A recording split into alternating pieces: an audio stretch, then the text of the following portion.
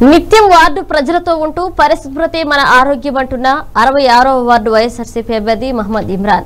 Gajuwaka GVMC పరిధిలోని ఉన్న అరవై ఆరవ వార్డులో వైఎస్ఆర్సీపీ అభ్యర్థి మహమ్మద్ ఇమ్రాన్ పదకొండవ రోజు కూడా వార్డులో పర్యటించి శాసనసభ్యులు నాగిరెడ్డి సూచనల మేరకు మహమ్మద్ ఇమ్రాన్ మాట్లాడుతూ వార్డులో ప్రజలకు ఎలాంటి ఇబ్బంది రాకుండా కరోనా వైరస్ వ్యాప్తి చెందకుండా బీసీ రోడ్లు అలాగే సీతారాం నగర్ నవాబ్ నగర్ అజీమాబాద్ ప్రతి మురికి కాలువను శుభ్రం చేయించి అనంతరం బ్లీచింగ్ పౌడర్ జల్లించి హైడ్రో ప్రెజర్ ద్వారా ప్రతి ఒక్క ఏరియా వీధుల్లోకి వెళ్ళి మరి శానిటైజేషన్ చేయించి కరోనా వైరస్ వ్యాప్తి చెందకుండా అందరూ కూడా పరిశుభ్రత పాటించాలని ప్రతి ఒక్కరూ కూడా బయటికి రాకుండా ఇంట్లో ఉంటూనే కరోనా మహమ్మారిని తరిమి కొట్టాలని అభ్యర్థించారు. ఈ కార్యక్రమంలో వార్డు వైఎస్ఆర్సీపీ అభ్యర్థి మహమ్మద్ ఇమ్రాన్ గౌస్ సఫీ షేక్ ఆశా రాజు మోతి చిత్రాడ వెంకట్ తదితరులు పాల్గొన్నారు.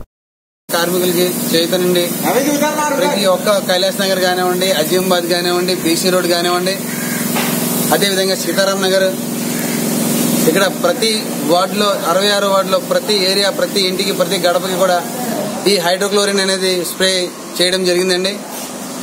అదేవిధంగా ఇక్కడ ప్రతి ఒక్క మా వైఎస్ఆర్సీపీ శ్రేణులందరూ కూడా ప్రతి వార్డు నుంచి ప్రతి ఒక్కరూ కూడా మా అందరికి మేము సైతం అని చెప్పి వస్తున్నారు.